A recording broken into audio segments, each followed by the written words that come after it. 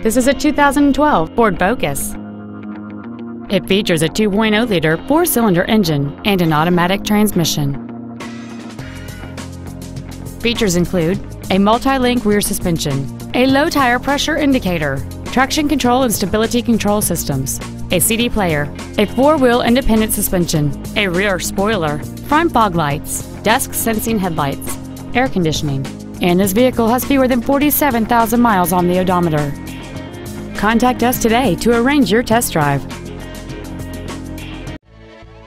Integrity Ford is dedicated to doing everything possible to ensure that the experience you have selecting your vehicle is as pleasant as possible.